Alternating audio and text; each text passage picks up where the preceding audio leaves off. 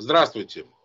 Ну, все мы являемся свидетелями того, что буквально недавно снова происходило э, в Арцахе. Мне многие писали, спрашивали, но дело в том, что я сам не там нахожусь, поэтому отвечать э, на какие-либо вопросы, да еще и делать это какие-то официальные вещи, с моих слов, ну, было бы неправильно, потому что, во-первых, я не там, а, во-вторых, чтобы делать какие-то заявления, нужно владеть этими заявлениями. А как владеть этими заявлениями, если сами официальные источники противоречат э, себе? Тот же Баграмян, э, тот же Степанакерт. Я много раз пытался э, вызвать хоть кого-нибудь на связь, чтобы мы могли поговорить о происходящем. Но вот как-то так получилось, что никто не захотел. С одной стороны, я их, я их понимаю, возможно, потому что они уже сами стали пессимистами, не знают, что с ними будет завтра под таким руководством. А с другой стороны, я их не понимаю, потому что если это будем делать не мы, то за нас это будет делать враг. А если будет это делать враг, то есть подкидывать фальшивую информацию, то это будет снова победа информационной войны врага но не наша. А потом мы все удивляемся, почему мы в информационной войне тоже проигрываем. Так что не удивляйтесь, вот именно по этой причине мы и проигрываем. Потому что если будет каждый думать о том, что моя хата э, с краю, слева или справа, даже будучи политическим деятелем, мы будем проигрывать по всем фронтам. А, то, что происходит сейчас между Россией и Украиной, это вот очевидно. Идет э, помимо того, что идет, идет еще и информационная война, причем интенсивная такая, артобстрелами эта информационная война, да, и если посмотреть одну и вторую сторону, то можно с головой верить и одной, и другой стороне, потому что информационная война нынче достаточно грамотная. Ну, нет так у нас политиков, значит нет. Я захотел пригласить на этот раз жителя Арцаха, а, известного блогера, вы его все знаете, тем более он пару раз у нас уже был в эфире. Он, можно сказать, из самого эпицентра нам и расскажет, что там происходило и что в Арцахе происходит сейчас. Итак, Арутюн Акопян. Здравствуй, Арутюн. Всех приветствую. Да, Арутюн, вот э, давай так. Ты знаешь, я вот о чем подумал перед эфиром с тобой. Вот как-то устроен мозг э, человека. Здесь только, может быть, наверное, Фрейд разберется, да. Э, с одной стороны, человечество ненавидит антисемитизм, но при этом все любят кататься э, на машинах Ford. С одной стороны, человечество ненавидит гомосексуализм, но при этом все слушают музыку Чайковского. А также ненавидят фашизм, но при этом слушают музыку Гайдна, на музыку которой был э, записан гимн нацистской Германии. Ну и Это так знаю. далее, и так далее. И да, я сейчас тебе дам слово, да. Вот такой вот парадокс происходит. Вот можно сказать, что у нас сейчас в политике э, происходит что-то вот нечто такое. С одной стороны, человек ненавидит, с другой стороны, поддается вот этой ненависти. Тебе вопрос, что на месте происходит? Или я в чем-то не прав? Э, имеешь в виду именно в самом Степанакерте или вокруг? Да, меня интересует Арцах, потому что э, Арцах это все-таки исходная от Армении. Я рассматриваю Арцах как область Армении, во всяком случае. Я тоже. Я тоже придерживаюсь этой позиции, этой идеологии. Ну, в Арцахе не скажу, что каждый день, ну, достаточно часто выключают свет, если начнем с этого, да, с самого элементарного, бытовые. Э, с водой более-менее как-то уже устаканилось. Газ, ну, про газ уже все, наверное, наслышано, так или иначе происходит э, частое выключение газа. Вот что происходит именно вот на бытовом уровне.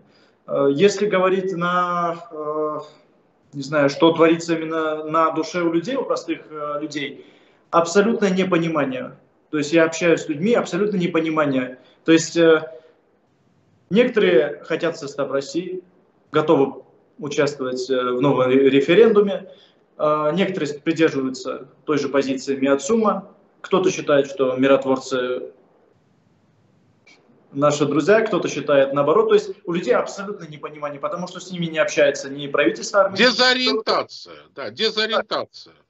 Да, абсолютно. То есть из-за этого просто, я не знаю, такие условия создались, что у людей, я не скажу, что у каждого человека ни в коем случае, да, но так или иначе основной масса это панический настрой. То есть абсолютно непонимание. Получается, одно дело мы ожидали от Э, правительство Армении так или иначе поддержку, а она так или иначе есть, да, в том плане, что вот выделили на 2022 год, э, сколько там выделили денег для Арцаха? Но это людям, на, на самом деле, на это не то, чтобы как-то, но именно на фоне, э, как объяснить, на фоне тех заявлений с э, трибун э, правительства Армении, это как бы, знаешь, как туман, он рассеивается. То есть это не настолько важно. То есть люди другой поддержки ожидают услышать от а, правительства Армении. Вот. И из-за этого а, просто дезориентация идет у людей. Угу. И плюс, конечно же, мы видим, что начиная с 12 декабря 2020, 2020 года мы потеряли села Хцапер, Интавер, гору Дизапайт, гору э, Мэтскирс. Плюс еще дополнительно недавно потеряли одну высоту Караглух, это горный хребет Караглух, если с Храморта смотреть, там 5 высот. И вот самая правая высота к э, селу э, Парух. Кстати, оттуда видно и э, озеро, которое было... Э, это, это первый... какие районы Арцаха? А, вообще это Агдамский район, э, ну на самом деле это считался Мартакетским районом. Именно вот это озеро, которое видно. 1 декабря 2020 года оно было сдано. То есть с наших позиций оно прекрасно было видно. И, собственно, у нас есть много позиций, постов, где это озеро до сих пор видно. Хотя Лиев недавно другой заявлял. Вот, поэтому Храморт, даже вот э, если ты будешь в Храморте, и даже не подойдя к армянским позициям, к армянским постам, видно прекрасно Агдам. Даже видно, как э, Э, краны работают в Агдаме, их там небольшое количество, три, три крана я рассчитал. То есть э, становится для человека понятно, насколько это важная позиция, вообще насколько, насколько Храморт это стратегическое место, стратегическое направление, потому что оттуда Агдам полностью видно, то есть невооруженным взглядом, даже не нужно идти на армянские посты, самого Храморта, самого села. Угу. Так сейчас Храморт на какой стороне? Нет, Храморт у нас. Храморт у нас, но с Храморта смотришь э, 5 гор, получается самая правая к Паруху, там э, хорошо закрепились азербайджанцы. Угу. Э, вторая гора, я от солдат точной информации не могу получить, но по моим предположениям, э, по моей оценке, это, скорее всего, нейтралка, потому что там нет ни наших позиций, нет ни азербайджанских позиций, там нет ни нашего флага, нет азербайджанского флага. То есть вот с правой стороны Э, гора, она полностью контролируется Азербайджаном, потому что прям видно, там мешки даже сдалека, какое количество мешков, то есть они закрепились э, в целом хорошо. То есть даже mm-hmm. по позиции не закрепились. Э, само село Парух, говорю как есть, оно находится под контролем российских миротворческих сил, но в пару сотнях метров находятся азербайджанские силы. То есть фактически особо разницы нету. Они находятся в пару, пару сотнях метрах от села или нет, потому что подступ к селу, ну, для нас уже его нету просто-напросто. Угу. Я думаю, что Парух тоже, как и Хацябер, как и Интагер, а, будут и уже в целом сданы врагу. Просто, угу. ты знаешь, я видел одно видео, и это видео набрало более миллиона просмотров. Это был момент, когда 8 ноября 2021 года убили э, парня по имени Мартик. Ну, помнишь, да, эту ситуацию под Шуши, когда они, э, четверо ребят, работали э, под вроде бы присмотром российских миротворцев. Тогда население действительно было злым на российских миротворцев. И э, я сделал видео, прямо высказал, и это видео распространилось, более миллиона просмотров не просто так это набирает, потому что у людей это было внутри, но не каждый может взять и на камеру сказать, и как бы а, такое. Я прямо сказал, что я не доверяю российским миротворцам. И чтобы это доверие пришло, нужно сделать следующее. Российским миротворцам нужно показать свои зубы. Не показав зубы, вот, собственно, зубы не показали, поэтому происходит вот это. А, но есть некоторые виды изменений, Вадим, которые я могу... Давай, давай, давай сделаем так. прежде чем ты скажешь о некоторых видах э, изменениях, э, я бы хотел бы у тебя узнать такую вещь. Как это вообще происходит? Вот стоят российские миротворцы, э, азербайджанские вооруженные силы. Они что, руками раздвигают и заходят в село, что ли, на зону российских миротворцев? Как это вообще происходит? Ты знаешь, там настолько э, сайты не знаю, разные лица по- по-разному сказали, для того, чтобы, я думаю, отвести от истины. Чтобы не было прям э, истины. Я думаю, потому что невыгодна истина. То есть она, скорее всего, навредит либо правительству в Арцахе, официальным лицам, да, либо каким-то генералам, а потому что дали они приказ, скорее всего, отойти, а, либо российскому миротворческому контингенту. То есть э, для этого, мне кажется, было создано разных, э, разные информационные, ну так как мы с тобой работаем все-таки в информационной сфере, понимаем, да, было создано разного, разное количество шумов, они все абсолютно э, разные, по мнению, и в итоге я думаю, что э, это сделано для того, чтобы от истины отойти. Истина, скорее всего, такая, что, э, наверное, действительно, э, армянским войскам был, скорее всего, дан приказ отойти назад, и потом случилось то, что случилось. Но э, в этом направлении я не могу кто, говорить. Кто, кто дал такой приказ? Российские миротворцы? Еще раз. Кто дал такой приказ? Российские миротворцы? Ну, исходя из того общения, которое я имею, без всяких имен, скорее всего, да. Тогда зачем они там нужны? Так можно постоянно давать приказы э, российским миротворцам, отойдите дальше, дальше, дальше, и так они до Степанакерта дойдут. Тогда я не понимаю смысл э, российских миротворцев в Арцахе. Ну, потому что российские миротворцы не показывают зубы. Им нужно просто хотя бы один раз показать зубы по-настоящему. Потому ну, так что... они не только зубы не показывают. Они просто говорят добро пожаловать и хлебом солью встречают азербайджанские вооруженные силы. Ну, судя по тому, что ты сейчас сказал. Но ты знаешь, э, исходя из того, что, допустим, когда была эта ситуация 12 декабря, 12-13, в Хтяперте, Хинтагерде, Запайте и, Мец, и э, на горе Мецкирс, э, тогда даже правительство Армении особо не отзывалось. То есть там было в целом понятно, что э, Азербайджану абсолютно невыгодно, чтобы Дизапайт был э, у армянской стороны, э, Красный базар был у армянской стороны. У них всего лишь дорога через лес, которая ведет к Шуши. То есть закрыть эту дорогу абсолютно в целом несложно было бы. То есть там было понятно, почему они э, так сделали. И в целом армянское правительство, я помню, что не особо-то и отзывалось. Но вот насчет Паруха стоит отметить, что армянское правительство, я имею в виду ну, официально, да, Пашиняна, другие лица, МИД и так далее, не, не единожды уже высказывалось насчет этого. То есть с чем это связано? Либо, по моему мнению, там была, скорее всего, какая-то договоренность насчет дизапайта. То есть почему там яростно так не боролись? Говоря о том, что нужно отойти обратно. То есть пару раз, по-моему, один раз, по-моему, даже Пашинян, если не ошибаюсь, сказал, и все. А здесь насчет Паруха высказываются многократно. То есть вот эта ситуация мне тоже непонятна. Но каждый раз, знаешь, а, отодвигаться... Может, может быть, а, Парухи э, чья-то дача из власть имущих? Еще раз? Я говорю, может быть, в Парухе чья-то дача из власть имущих? Я думаю, что нет, но не знаю. Понятно. Малень... Ну, ты говорил о том, что э, есть и какие-то плюсы э, у, мира, у миротворцев. Какие именно? Э, первый плюс. Пару недель назад э, в Красном э, базаре, или же Тагавард, Гармищуков по-армянски, э, проезжала азербайджанская колонна небольшая, три грузовика.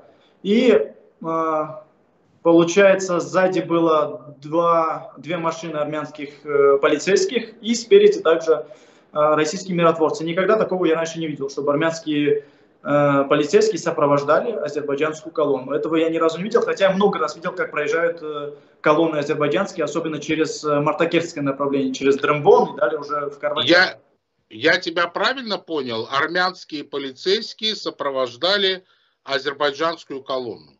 Да, в том числе. То есть две машины полицейские были сзади. А после, как они проехали уже с... Зря, я сейчас подумал о том, жаль, что среди этих армянских полицейских не было Ивана Сусанина. Но знаешь, в чем э, именно этот такая ситуация неприятная. Потом проехала э, две фуры азербайджанской, э, там был еще, если не ошибаюсь, тоже военный. Суть в том, что они проехали, снова были полицейские армянские. Но, естественно, сопровождение также российских миротворцев, то есть, э, понятное дело. Они уже ехали в направлении Шуши, то есть мне непонятно было, у них есть своя асфальтированная дорога, которая прям, ну, видно, то есть с наших позиций видно новую Шушинскую дорогу, все равно проезжали. Вот этот момент был непонятен. А, это первое изменение. А, второе, я думаю, что после Паруха вот это небольшой конфликт между Министерством обороны Российской Федерации и Азербайджаном, ну ты видел, да, вот это официальные да. небольшие а, это тоже, я думаю, имеет значение, потому что буквально два дня назад э, Министерство обороны Российской Федерации снова уже напрямую говорит о том, что азербайджанская сторона нарушает. Никогда такого раньше не было. То есть они пытались э, ни вам, ни, ни нам, а теперь они немного показывают зубы. И это, я думаю, плюсом является. Или Но нет, но это я знаю, почему они так сказали. Это они просто погрозили вот так вот пальчиком, потому что э, за два дня до этого в Азербайджане там кричали «Слава Украине». Так что... Да, они всегда кричат. Вадим, реально огромный процент населения Азербайджана ненавидит русских.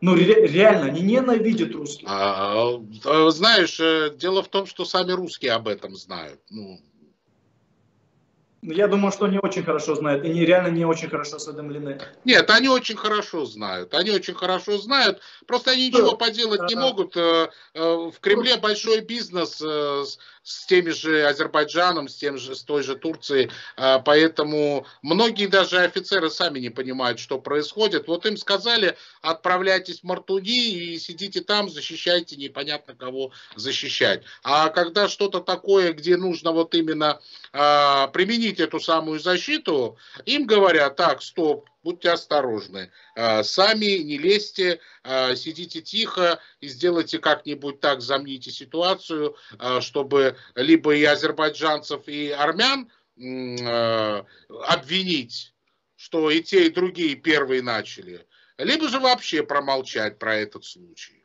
Вот и все. Ну что, первый день живем, что ли?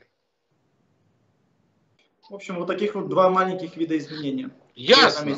Ясно. Но скажи, по поводу э, Пашиняновской демили, демилитаризации и прочего. Как в Арцахе восприняли эту новую такую информацию э, поворота Пашиняна на значительное число градусов от прежнего курса? Абсолютно негативно. Люди воспринимают я не говорю за каждого человека ни в коем случае, но большой процент населения воспринимает э, Армению как Пашиняна. То есть воспринимается Армения как э, с Пашиняна, потому что были выборы да, э, в июне 2021 года, и Пашинян выиграл. То есть э, у людей такое восприятие негативное. Угу. Но я так понимаю, во время выборов Арцах же не имел права голоса, правильно? Да. Угу. Но есть такие, которые понимающие относятся к Пашиняну. Вот ты говорил про Миацун. Есть, да, есть небольшой процент населения. Да, кто эти люди? Как происходит? Э, внутри Арцаха, ну, наверное, 90%, когда говорят о чем-то, соглашаются с тем, что да, старые воровали, генералы воровали, то есть это никто не отрицает. То есть вот сперва идет э, э, так, такие, сперва идут такие слова, что да, не воровали и так далее, и уже... Генералу, генералам сам фельдмаршал велел э, воровать. Я имею в виду не только армянским, армянских генералов, но и вообще генералов. Прапорщики и генералы это вообще отдельная категория людей среди военных. Да, продолжай. Да, то есть э, Миацум у людей остался, э, но э, ты знаешь как, я думаю, вот эти заявления в душе внутри, э, если покопаться по-настоящему э, в головах э, у жителя Степана Керта, у жителя Мартуни, почему многие, я думаю, это заметили, хотели бы присоединиться к России. Это прям видно даже по социальным сетям, люди делают скриншоты, выкладывают, да, что хотели бы в состав России. Я думаю, что это связано с тем, что связано с выживанием. То есть люди воспринимают так, что может быть, пока в состав э, России, или как-то мы сможем пока жить, мы сможем пока жить на своей земле, и за это время, может быть, власть э, в Армении поменяется. Это как один из э, внутренних, я не знаю, я не знаю, это, наверное, как способ выживания, один из способов выживания для того, чтобы жить на своей земле, для того, чтобы не покидать наши могилы, для того, чтобы не покидать наши церкви, не покидать наши дома. Я думаю, что это один из способов. Но и правда, большой процент населения, если, я думаю, сделать э, референдум, я не готов говорить сколько процентов, ну большой процент, действительно ну, готовы были. Вот тебе как блогеру можно было бы а, провести такой опрос в Степанакерте ну вообще mm-hmm. в Арцахе, а, и посмотри, что из этого выйдет. Но ты сам житель Арцаха, ты сам-то как думаешь? Ну, то есть нужно делать социальный опрос, я как бы знаю, да, общаюсь с тысячи, не, не с одним, не с десяти людьми, не сто человек, то есть тысячи нет, людей. Я, я, нет, я у тебя спросил другое сейчас. Ты сам как житель Арцаха, ты бы хотел бы... Э, где видеть Арцах? В составе России, в составе Армении или в составе независимого государства?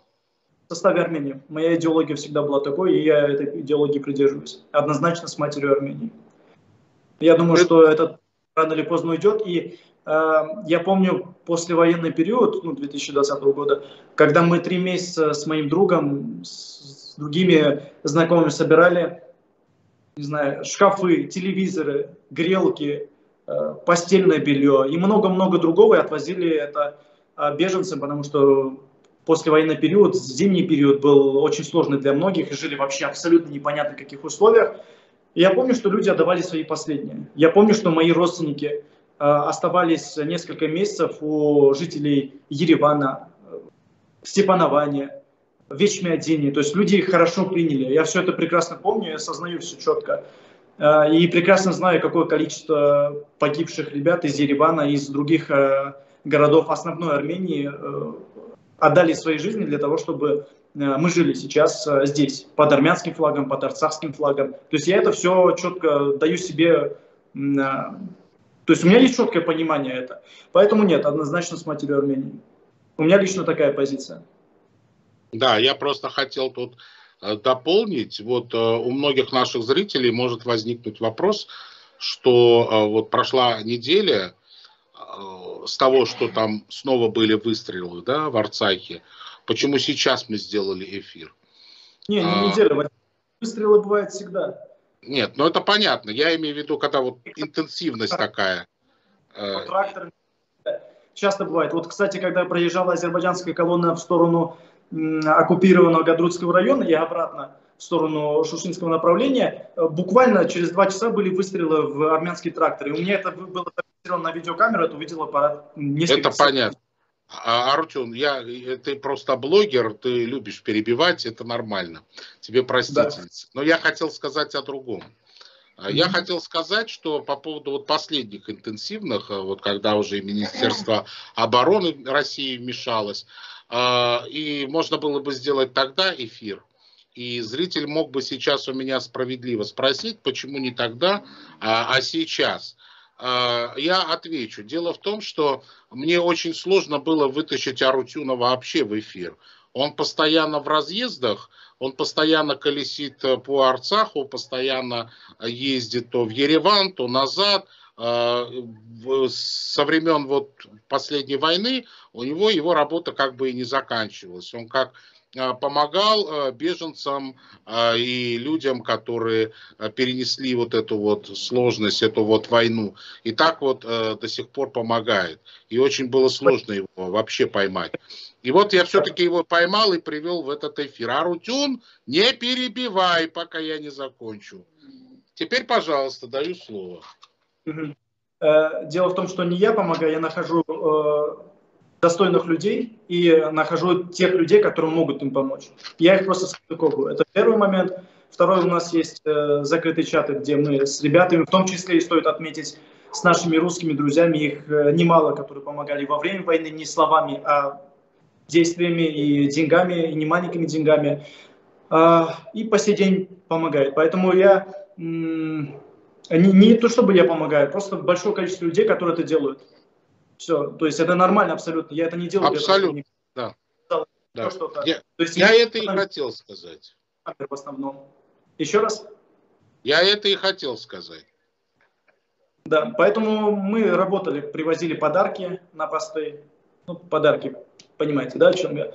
Поэтому, да, к сожалению, получалось полноценно. Э, Арутюн отправиться из Еревана в Степанакерт обычным простым смертным э, возможно ли сейчас? Граждан вот на данный момент? Да.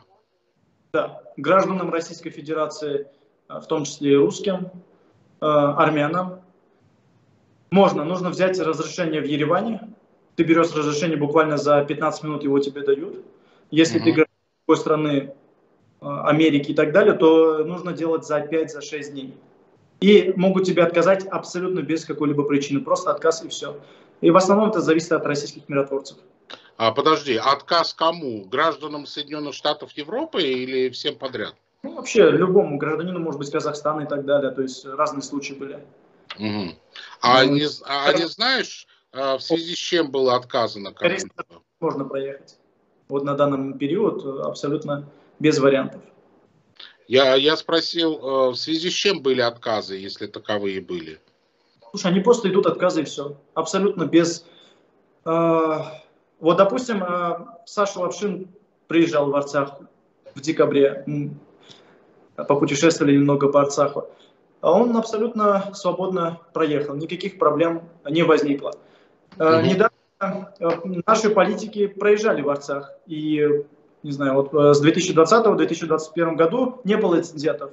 Политики из Еревана свободно приезжали, и после того, как недавно был инцидент с, э, с ну, ты помнишь, да, вот эту шумиха, когда не пропустили... С депутатами? Да, депутаты не пропустили. Я думаю, что это было абсолютно глупо, потому что кто хочет проехать, он просто реально, вот я честно говорю прямо от души, кто хочет проехать, он просто без лишнего пафоса, без лишних фотографий, просто приезжает типа на и уже на месте может войти в прямой эфир или так далее. А когда такое количество депутатов заявляет, я не знаю, для меня это ненормально, потому что после этого буквально через пару дней приехал и э, Абувян, тоже депутат, абсолютно свободно проехал. То есть это не значит, что, что не пропускают сейчас армянских э, депутатов. Просто я думаю, что ребята чуть-чуть неграмотно действовали. Мы сейчас не в той ситуации находимся, Вадим, чтобы э, заявлять вот так вот громко, что мы можем проехать, что мы сейчас там министр обороны приедет, чтобы вы дорогу очистили. То есть мы не в том состоянии. Но я так понимаю, это были оппозиционные депутаты. Э, на удивление, да. И также, на удивление, Никол Пашинян их э, защищал. Я почему спросил по поводу оппозиционные или депутаты? Дело в том, что, может быть, это была какая-то а, провокация, потому что оппозиционеры есть оппозиционеры все-таки. Ну, после этого, через буквально по пару дней, э, тоже депутат от э, Царукяна, Абувян, абсолютно свободно приехал, Степан Акерт вышел в прямой эфир, и mm-hmm. абсолютно свободно. И еще, вообще, без сомнения, что сейчас любой депутат из Еревана может приехать. Только не нужно делать это из этого клоунаду, э, снимать, э, не знаю, выходить на, об этом говорить громко на камеру, что мы сейчас едем э, в Степанакерт. Приезжайте без фотографий, без лишнего шума, приезжайте, выходите в прямой эфир, обратно езжайте. Никаких проблем, я уверен, не возникнет.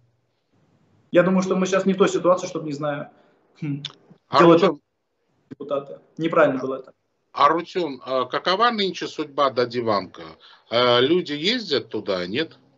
А, там находятся наши священники, один из них находится у меня в друзьях, то есть я вижу его фотографии из Дадиванка в реальном времени.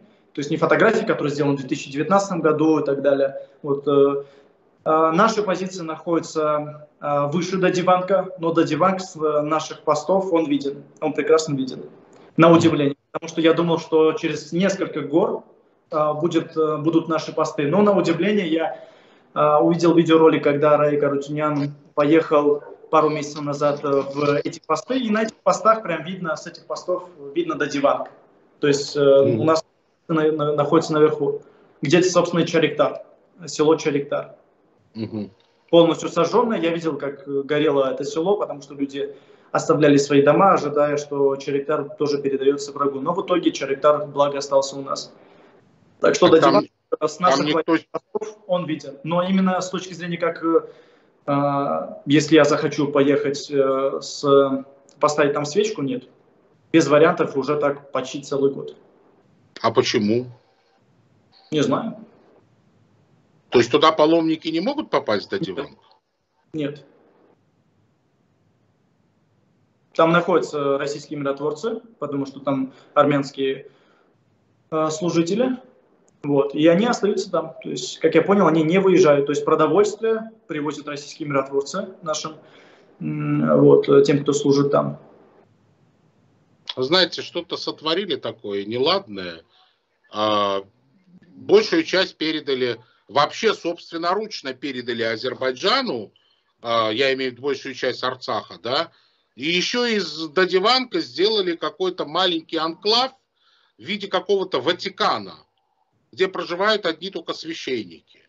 Армянские, что является тоже важным. Ну, понятно, что армянские, а это Дадиванк. А какие там еще могут быть священники, кроме как не армянские? Ну, Армянский туда... храм. Удинские. Ну, удинские, они в свое ну, время э, продали, можно сказать, азербайджанцам или татарам, да, тогдашним, вот, все свои храмы, э, превратили их черт знает во что, а теперь они позарятся, там ездят на армянские храмы. Пусть они документы покажут, какие они там удинские, где там они удинские.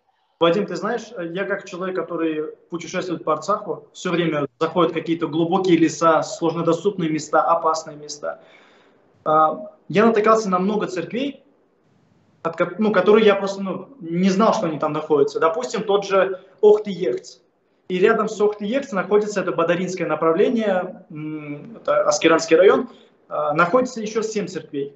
И там находится могилы, на которых на армянс, армянские надписи, на, цер, на, на церкви армянские надписи. То есть везде, внут, э, вместо некоторых камней, ну, ты знаешь, да, у нас вместо многих камней хачкар. Да, да. Аручу, на чем ты говоришь? А мы там и так понятно, Нет. это все. И это не столько удины, это сколько просто алиевские выкормыши, которые делают все а, по диктовку Алиева. А учитывая, что у самих этих удин в Азербайджане-то своего практически ничего-то и нет, может там один-два храма каких-то на севере, я хочу вот к этим удинам обратиться. Вы знаете, что вот этот Азербайджан, который сейчас Азербайджаном называется, это была Кавказская Албания, это была ваша страна. Если вы такие храмостроители, что по всей Армении ваши храмы, то где же тогда ваши храмы на территории нынешней Азербайджанской республики? Куда они делись? Эти ваши удинские так называемые храмы в Баку, в Шамахе, в Шуше, в Барде, в Яламе. Где они все? В Губатлы, в Губе. Они, получается, должны быть по всей стране, если вы такие уж храмостроители. Куда они все исчезли? Может быть, вот эти самые татары, под, которыми, под крылом которых вы сейчас сидите и на армянское позаритесь, может, они все уничтожили? Откройте свои глаза, что вы творите? Вы себя христианами называете, что идете под диктовку у вот этих вот шайтанов на своих же христиан и позаритесь, воруете э, христианскую своих братьев цивилизацию. У нас была общая с вами цивилизация когда-то. И вы, и грузины, именно от армян приняли христианство, потому что христианство из Армении пришло, как в Грузию, так и в Кавказскую Албанию. Оно миновать никак Армению не могло. Хотя потому, что христианство зародилось на Ближнем Востоке. Оно с юга шло на север, а не из Москвы на юг. Не через вот этот вот военно-грузинскую дорогу, Дарьяльское ущелье, или как оно там называется. Включите свои мозги, в конце концов. Эти рано или поздно канут когда-нибудь. Наши соседи появлялись, исчезали. У нас за нашу историю столько разных было соседей. В том числе и очень богатых соседей, варваров. Исчезали, и эти исчезнут. Как вы потом будете в глаза армянам смотреть? Все, я успокоился, продолжаю. Э, так вот, если я не был бы армянином и просто путешествовал бы по Арцаху, я бы был точно убежден, видя столько церквей, видя там армянские надписи, там все доказывает о том, что огромное количество хачкаров, огромное просто количество. То есть все доказывает, что это действительно армянство. Плюс еще один интересный такой момент. Недавно выложил фотографию из Бердзора, э, церковь в Бердзоре. Ну, многие это знают э, как Лачин. Церковь была сдана в эксплуатацию в 1998 году после моего рождения, то есть церковь на два года младше меня. Итак, самое интересное, азербайджанцы начали в комментариях писать, что это албанская церковь.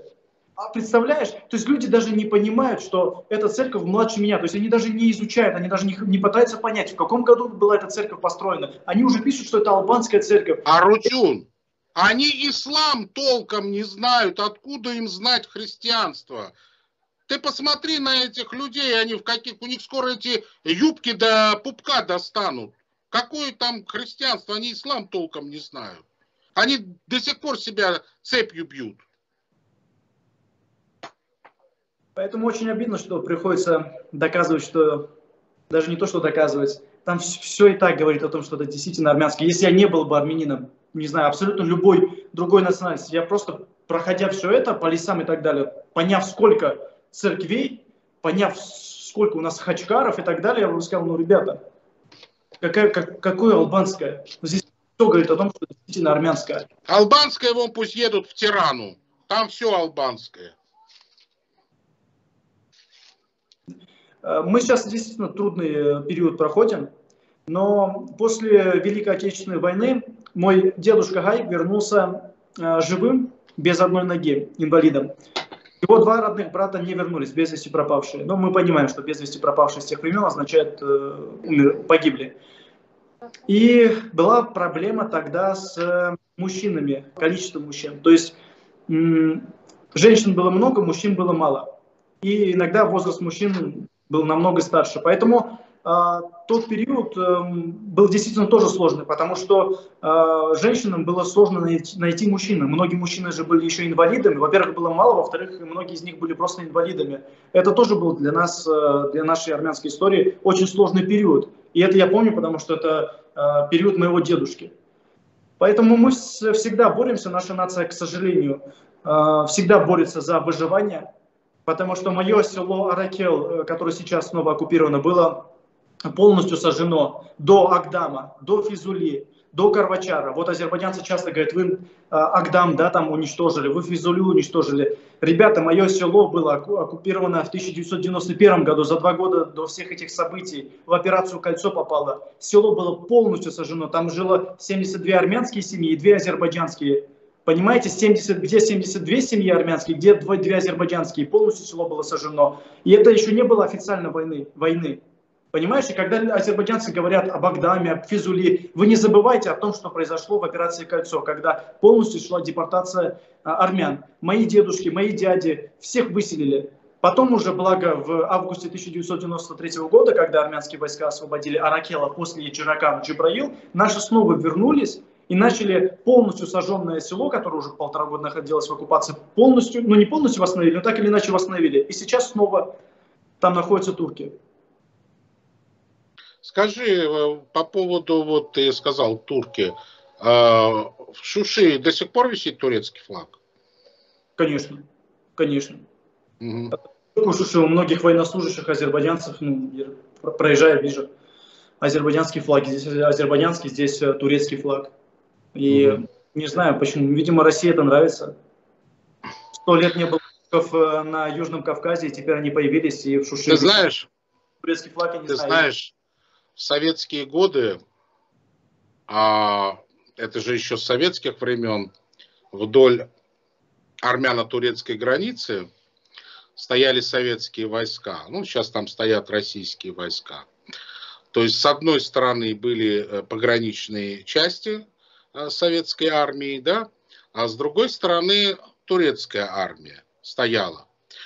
Но даже и не совсем турецкая. Как-то ночью, еще я был маленький тогда, мы выехали э, в Араратскую долину, я уже не помню в какое село, и там было четко видно, это была ночь, э, было четко видно, как на горе Арарат угу. было очень много огней. И Такое сейчас? Такое ощущение, что там э, такие многоэтажки и в окнах горит свет. И тогда я поинтересовался, что это. Это дома? Мне сказали, что это натовские войска. Э, именно, говорит, поэтому на этой стороне стоит советская армия, то есть армия Варшавского договора, да, как бы иначе говоря. А с другой стороны, натовцы. То есть они вот стояли лоб в лоб через Аракс, получается, да? И кто бы мог подумать, что пройдет каких-то 30 лет, те, которые защищали свои рубежи у реки Аракс от натовцев, будут уступят территории на, э, в Закавказье, уступят территории в Закавказье и будут вместе с натовцами мониторить, что происходит в зоне влияния Российской Федерации. То есть ты представляешь вообще, что происходит? Во! Вот каша. Я вот сейчас объяснил точно так же, как и все вот эта вот политика нынешняя. Сплошная каша, которую очень сложно вообще объяснить. Там ходят солдаты с нашивками турецкого флага. Где? В Закавказье. Что они там делают? Они мониторят ситуацию вместе с россиянами. Очень странная история, особенно если учитывать, что э, российские миротворцы являются миротворцами и защищают армян Арцаха. Тогда от кого же они защищают, если они вместе с ними там мониторят? Ну, ты знаешь, сколько армян погибло с 9 ноября, когда война закончилась, с 9 ноября? Э, по-моему, не было ни одного случая, чтобы армянин, будучи военным, стрелял э, и убил э, азербайджанцев. А сколько погибло мирных жителей с арцахской стороны? Тракторист в Мартакерте. Большое количество. То есть это так что не знаю. Эта ситуация лично мне не нравится. Я ну думаю, что... Никто же не понес наказание. Никто минимум... же не понес за это наказание. Ну, отстреливают как уток и отстреливают. Ну, дальше что? Как кур. Так выходит. Но до поры до времени все это. Скажи, а помимо вот то, что мы постоянно надеемся на российских миротворцев, там у нас вообще есть э, кому защищать свой народ, свои дома? Или мы полноценно только спокойно спим и надеемся на российских миротворцев? Нет, наш российский миротворческий контингент это, скорее всего, как, а, как тебе сказать, на постах стоят армянские военнослужащие. Мои братья, мои племянники, большое количество моих друзей и знакомых. Да, у меня там тоже двоюродные братья стоят на постах. Да, да то есть там стоят армянские военнослужащие. Я думаю, что а, российский миротворческий контингент это как Наверное, просто для того, чтобы не было полномасштабной войны, все.